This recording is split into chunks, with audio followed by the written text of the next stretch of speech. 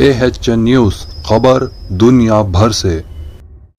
Telangana BJP के नौमुंतखब अरकान ने अकबरुद्दीन अवैसी के हाथों हलफ नहीं लिया। बीजेपी के नौमुंतखब आठ अरकान ने हुकूमत की जानब से मजलिस के फ्लोर लीडर अकबरुद्दीन अवैसी को प्रोटम स्पीकर मुकर करने की खिलाफ असम्बली में मुनदा हलफ बरदारी की तकरीब से दूरी इख्तियार की और अकबर अवैसी के हाथों हलफ लेने से इनकार कर दिया।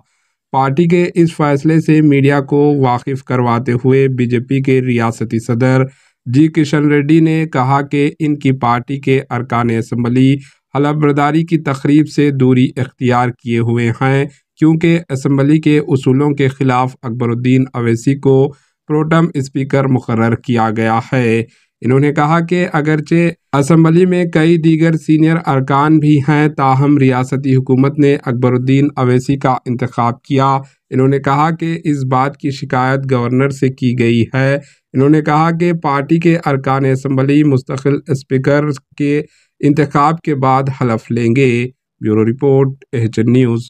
ఇచ్చారు ఈ రోజు నూతన శాసనసభ కొలువు తీరుతున్నటువంటి నేపథ్యంలోని కాంగ్రెస్ పార్టీ తన పాత అలవాటు ప్రకారము శాసనసభ నియమాలను శాసనసభ విధానాలను శాసనసభ గౌరవాన్ని కాలరాచేటువంటి ప్రయత్నము చేసిన విషయాన్ని సందర్భంగా మనవేస్తున్నాను. గత అనేక సంవత్సరాలుగా ప్రోటన్ స్పీకర్గా శాసనసభలో సీనియర్ వ్యక్తులను నియమించేటువంటి సాంప్రదాయం ఉన్నది. కానీ ఈ రోజు మజ్లిస్ పార్టీతో చేసుకున్నటువంటి ఒప్పందం మేరకు మజ్లిస్ పార్టీకి చెందినటువంటి అక్బరుద్దీన్ ఓవైసీని ప్రోటన్ స్పీకర్గా నియమించడము భారతీయ జనతా పార్టీ తీవ్రంగా వ్యతిరేకిస్తుంది. కాంగ్రెస్ పార్టీకి బోటాబోటీ మెజార్టీ एच न्यूज़ को लाइक करें शेयर करें और सब्सक्राइब करना ना भूलें।